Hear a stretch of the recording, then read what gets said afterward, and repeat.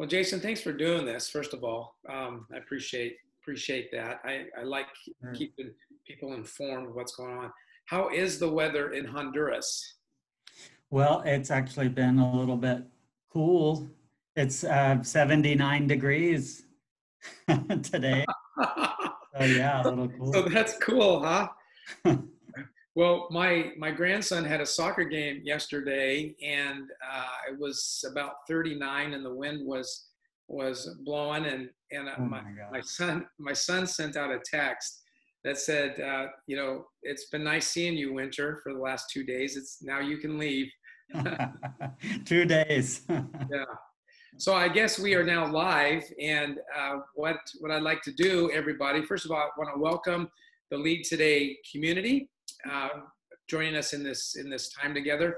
Also, want to uh, welcome our donors. I want to introduce to you uh, Jason Mulla. Uh, Jason, why don't you introduce yourself?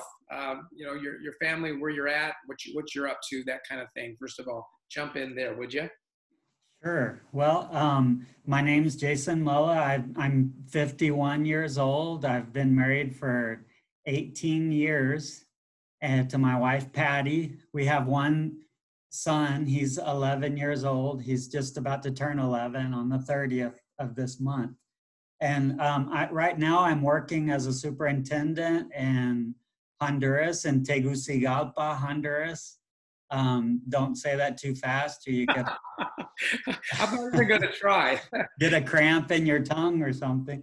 But um, actually, I'm superintending here at the the largest Christian school in in Honduras, International School of Tegucigalpa. Now, this is also the uh, the capital city of Honduras. Is that right? Yep, that's correct. And say that name again. What's the name of the city? Tegucigalpa. Tegucigalpa. I don't know. Did I butcher that pretty bad? Yeah, it just there's an L towards the end. Tegucigalpa. Oh, Galpa. Galpa. Uh-huh. Okay, good. Okay, well, I'll I'll leave that I'll leave that up to you. Are are- are you bilingual?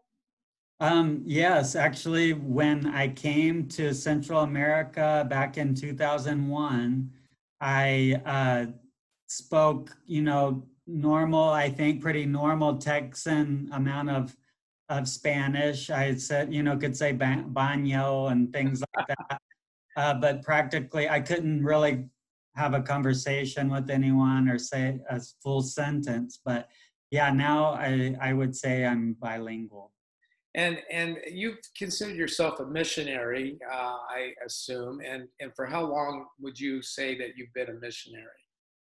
Yeah, actually, since 2001. Okay, since 2001. Well, now Jason, you reached out to us at Lead Today. Tell us, tell us uh, why you you have reached out to us. Yeah, it's interesting. It was kind of by accident, although I don't believe in accidents. Yeah. But um, I uh, got you guys contact information um, throughout my life. For some reason, really without looking for it, I end up getting put in leadership positions.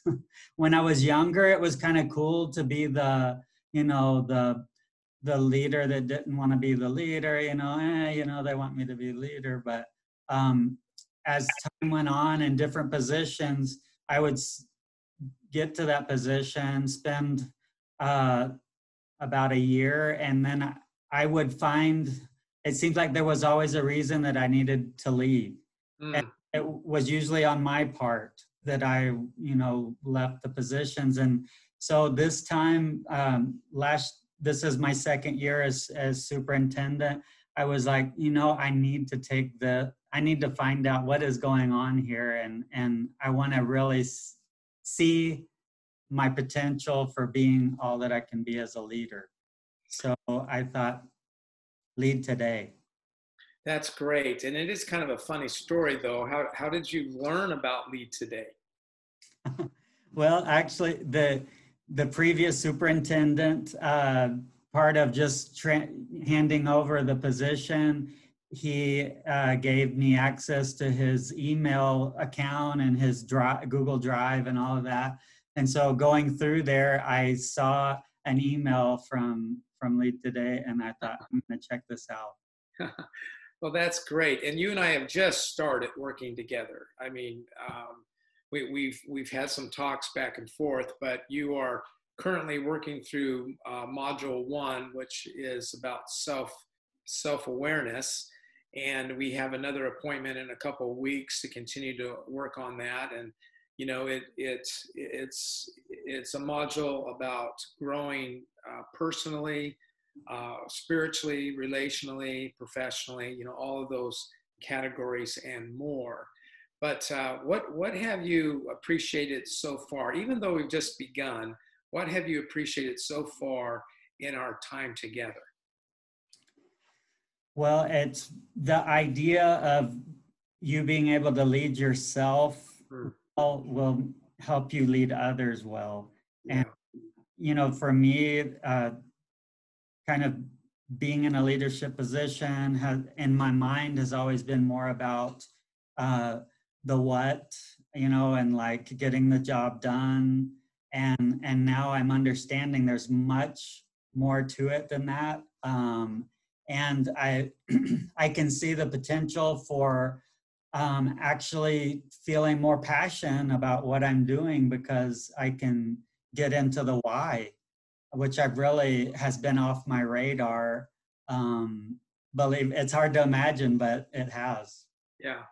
And I'll tell you what I have learned so far and appreciate about you is uh, the, the level of humility that you seem to bring into the conversation um, and you already brought in some self awareness even before we dived in, and you've already mentioned it here. So thank you for being vulnerable. So, why has my stays in leadership chairs been so short?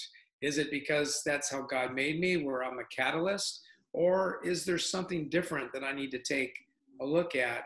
And I really appreciate that. And we haven't answered that question yet, but you and I are going to dive into that and uh, hopefully you know we're a safe place i'm a safe place uh, where we can discover that. And that's something for you to share down the road as you discover it not in this context.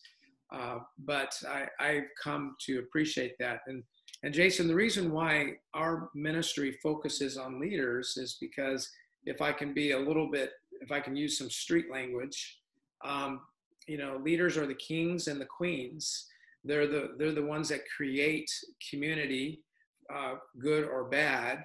And uh, our strategy is that the more that we can have an impact on leaders' lives, the more we can have impact on communities um, uh, around the world. And uh, though this is uh, you know one slice of our ministry, not not the whole thing, but one slice of it. Uh, that's why we do you know what we do. If we can help you be a better leader, then all of those children that that you're responsible for and their families are impacted by lead today through your leadership. So to me it just makes a whole whole lot of sense. I just know that in, in all of my leadership positions i didn't always know who i could really talk to um, that didn't have an agenda that wanted to take my leadership one way you know or or the other um, burnout is big in leadership. Uh, insecurity is is big in leadership. Uh, leaders are people too, as you described earlier. You have a bride, you have a son, uh, and they are important to us as well. So um, I just appreciate the time that you have taken, and thank you for allowing me to introduce you to our Lead Today family. Is there anything else that you want to say before uh, we we say thank you to everybody? Well, I, I can say that um, it's been an awesome experience so far, and I, I really appreciate uh, the ministry of Lead Today because it it can be uh, a lonely spot up at the you know when you get to the top, it's like well I don't know if I can share what I'm struggling with with with everyone here. so it has been really awesome uh, experience so far, and thanks a lot. Well, thank you, Lauren, for setting this up, and thank you, Jason. And you and I have an appointment here in just a little more than a week, so I'll see you again then. Have a great day, everybody. Thanks for joining us. Thanks.